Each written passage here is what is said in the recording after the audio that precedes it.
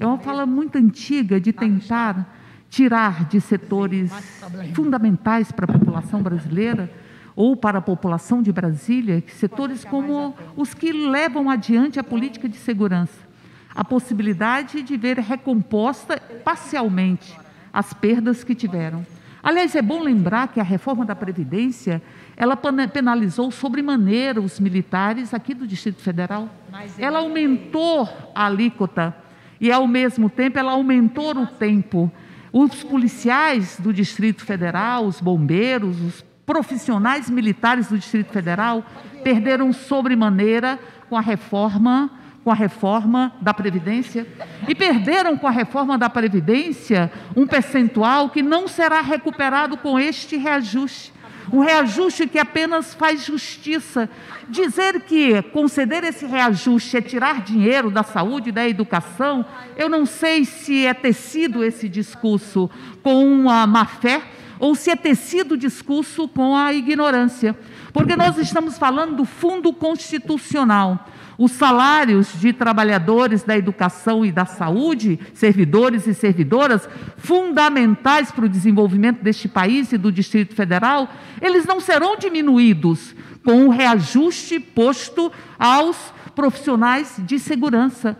Nós precisamos valorizar servidores e servidoras. Quem defende essa reforma administrativa, que é a reforma do compadrio, que é a reforma do Estado patrimonialista, que é a reforma que busca retirar direitos de servidores e servidores, não pode vir aqui dizer que defende parte dos servidores. Deputada Érica, o PT é não a retirada de pauta, não. então tem que mudar lá, está errado. E MDB não também.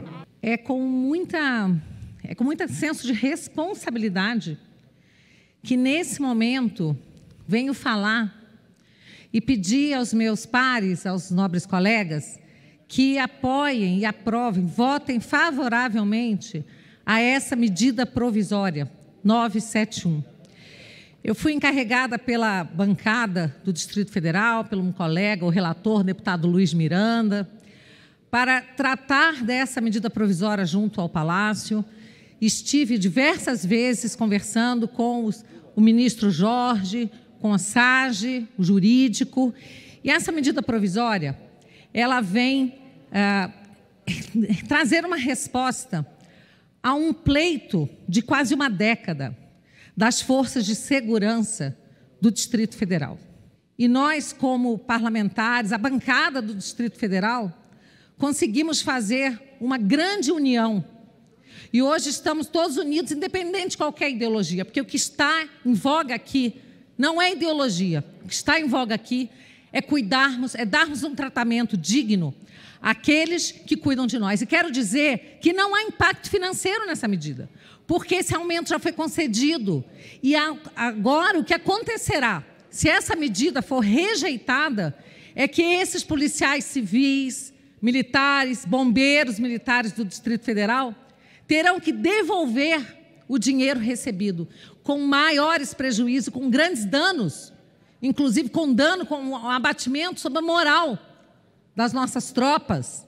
Senhor presidente, senhores deputados, é impressionante a gente ver é, realmente como foi colocado ali pelo deputado Tiago Mitrô, né, o PT, PSOL, PCdoB, é, votando junto, né, os bolsonaristas votando junto com os petistas para aumento de privilégio, né? O bolsopetismo a todo vapor. A justificativa é de que, ah, não, é dinheiro do Fundo Constitucional, né? O dinheiro do Fundo Constitucional é de onde? É abastecido com dinheiro de imposto. Imposto do trabalhador da iniciativa privada, que está sobrevivendo aí com 600 reais. Aliás, 600 reais que o Bolsonaro disse que é muito caro para pagar, mas não é caro aumentar salário de delegado do Distrito Federal de 22 mil reais para 24 mil reais. Aliás, delegados de classe especial do estado de São Paulo, o maior estado, mais rico, com maior renda per capita, mais produtivo e mais populoso do país, é de 13 mil reais.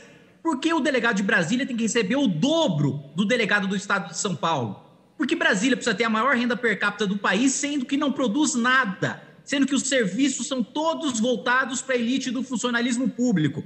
Brasília já tem a maior renda per capita do país, o plano piloto já tem o IDH maior do que da Noruega e ainda tem deputado que acha que é justo votar aumento de salário para os servidores que mais recebem nesse país, né? E o engraçado é que o Paulo Guedes fez, fez todo aquele jogo de cena para falar que era a favor de congelamento de salário, e vários deputados votaram a favor de congelar salário de funcionários públicos de todo o resto do país, inclusive eu, mas esses mesmos deputados agora estão votando para aumentar salário do Distrito Federal.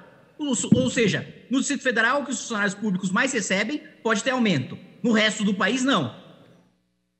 Só porque o governo mandou. Isso não é ideologia nenhuma. Isso é, isso é, é, é o governo mantendo a sua base na base do fisiologismo, né? E o Paulo Guedes se fazendo de. Quando, quando o Bolsonaro lança medida provisória no meio da pandemia para aumentar salário da elite do funcionalismo público, de delegado de classe especial para 20, de 22 mil para 24 mil reais, aí o Paulo Guedes some, né? É o liberal de Taubaté. Né? E mais do que isso, mais do que isso, esse governo demonstra com esse tipo de medida que é uma farsa, é um governo de traidor, é um governo que não representa de maneira nenhuma o conservadorismo de Edmund Burke, de Carlos Lacerda, muito menos, muito menos liberalismo de Milton Friedman, liberalismo de Mises, de Thomas Sowell, de Walter Williams. Aumento de salário de funcionário público, quando metade da população está vivendo com 600 reais e vai viver com 300, é escárnio, é privilégio, é uma vergonha. É uma vergonha que o Bolsonaro tenha se vendido dessa maneira para as corporações, tenha vendido seus ideais dessa maneira, jogando toda a direita brasileira na lata do lixo da história durante esse período que a gente vive hoje. Bolsonaro não é nada mais do que o petismo azul, corporativismo e fisiologismo puro. Deputado Kim Kataguiri, falar contrário. Mais uma vez, eu venho aqui apelar aos colegas é uma incoerência, uma hipocrisia do parlamento ter aprovado proibição de aumento de salário de funcionalismo público para o Brasil inteiro, para todos os estados e agora autorizar aumento de salário dos funcionários públicos que mais recebem no país. E mais do que isso, o governo ainda manda uma reforma administrativa sem nenhum servidor do legislativo sem nenhum servidor do judiciário, sem juízes, sem promotores, sem mexer em absolutamente nada naqueles que estão ganhando super salários.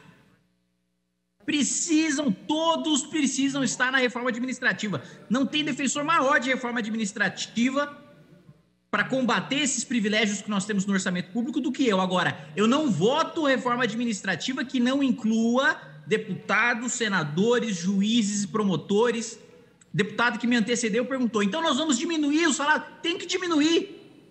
É justo que 100 milhões de brasileiros sobrevivam, isso estou falando de dados pré-pandemia, com 413 reais em média por domicílio, enquanto 1% da população, a esquerda adora falar de 1% mais rico, 1% da população tem um rendimento médio de 27 mil reais por mês.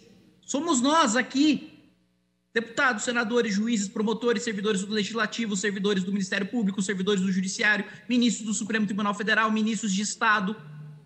E aí o Paulo Guedes, o liberal, manda uma reforma que não inclui a elite, inclui só a base. Não voto.